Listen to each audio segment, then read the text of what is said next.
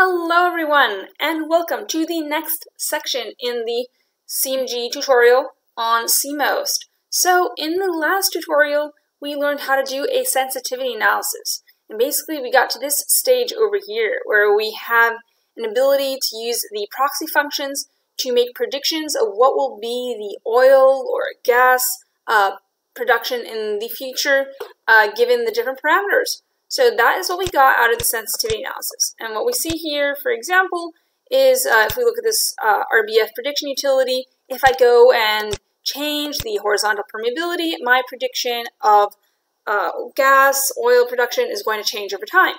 Now, if we noticed in the last tutorial, we also had the field history data. And what we want to know in this tutorial is, well, what, how when I change these reservoir parameters, how does what parameters will give me the data that I actually recorded in the field. And that will let me know and have a better idea of what are, for example, the porosity, the permeability, the reservoir properties I would like to know. And I would like to know them so that in the future, when I make decisions, for example, uh, how many stages to do in uh, a horizontal well, or what should be the pressure that I use for pumping, I can use these porosity and permeability parameters that match the data that I've recorded in the field. And this process is called history matching. And today's tutorial will be on how to do the history matching. So let us go ahead. For this tutorial, you need to have done the previous one. So if you haven't done the CMOST uh, tutorial one, then you need to go back and do it so that you get to this stage.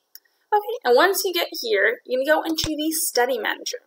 And you're going to go into tight oil sensitivity analysis, and you're going to copy it. And I think you can go click on it here and click on copy. Great. I'm going to copy and rename. And I'm going to call this set of sensitivity analysis SAHM, and I call it 2 because I actually already have our tutorial running right now so we can get the results quicker. Okay, so I just copied it, and there we go. I'm going to go and open our copy. First thing I'm going to point out is that over here we have already the field history data from the previous tutorial. So you don't need to go and import that.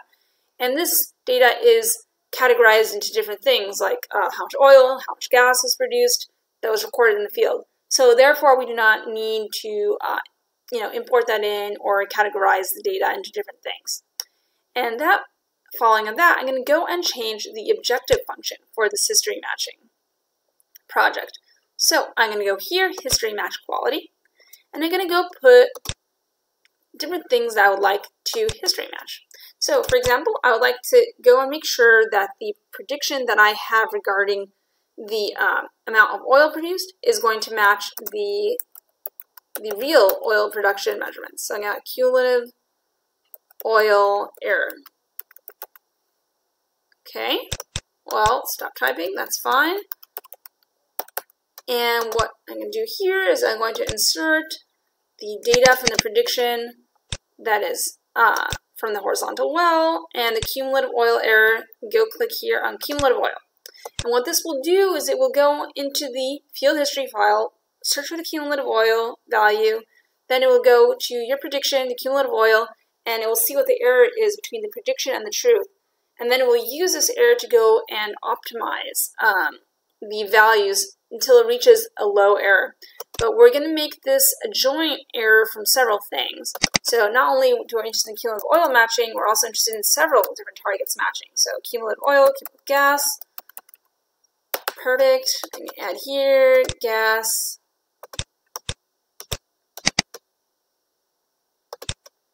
And let's add one more, and that is the gas oil ratio. So GOR, error, perfect. And just follow along with these steps. Uh, up, oh, there we go. Excellent. Now the next thing we have to do is in the engine settings.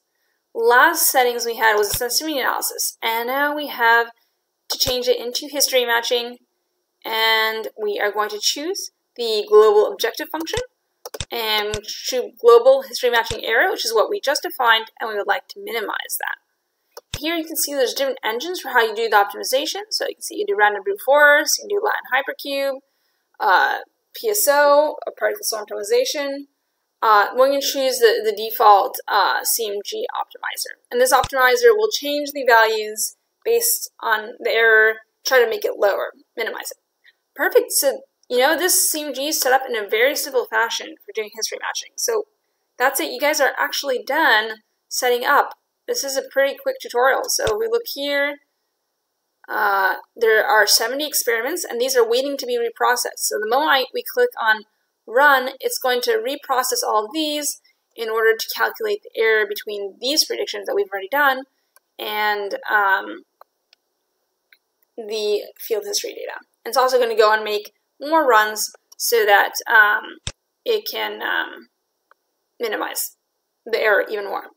So and here you just have to click on OK and choose your um, different schedulers and go. And what we see here, it's running very quickly. Why? Because it's just reprocessing that old data. So 70 of these are going to go pretty quick because that doesn't have to run anything new. Just has to do some calculations. And that is great. Okay. Now I'm actually going to try and stop this in a moment because I already have a version of this running. So there is no need to have um, to running. And let's go look at the results that are ready from a previous run of this tutorial. And I'm going to kill these jobs. Perfect. So let's go look over here. And I'm actually going to go to the control center first. And what we see here is that we previously had 70 random simulations. And you see that the global error of the history matching goes up and down because this is random. There's no optimizing algorithm. Once you go beyond that, we can see that starts going down kind of plateaus over here. But in general, the optimizer is doing a good job in choosing the values which give low um, low errors between the truth and you can see it's actually quite close to zero so there's really not much for it to go down in terms of um, mismatch okay so we can see that the optimizer is doing a good job now if we take a closer look at that over here we go into the results analyses observers here for example cumulative gas and we say, wow, there is at least one run, which is the optimal solution, which does a pretty good match for the cumulative gas. Let's look at the cumulative oil. Again, a very, very close match for the optimal solution. Gas oil ratio, same, same. We can see it follows uh, this field, field history fairly closely, so that's excellent. Now we want to know, well, what are the parameters that led to this excellent match, or to other excellent matches in this area? And the way I'm going to do that is I'm going to go into the experiment table. Um, and I'm going to go here and move this all the way to the right. And I'm going to look for optimal, okay? Actually, a better way of doing it would even going to go and look right here, let me move this, at the global history matching error, okay? And then I'm to put it in the other direction. Oh, actually, let's go to the top.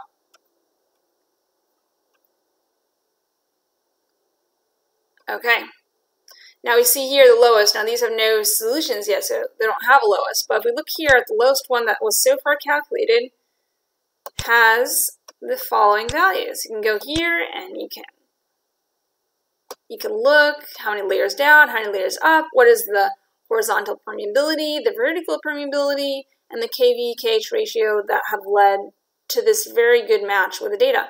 Now, if you want to keep your options open, you can also see, okay, so the match was pretty good in this one, but it's also not so bad on these ones that are right below it that have slightly lower error. And then you can use these values uh, that you get of the porosity and the permeability, and you can use those for optimization.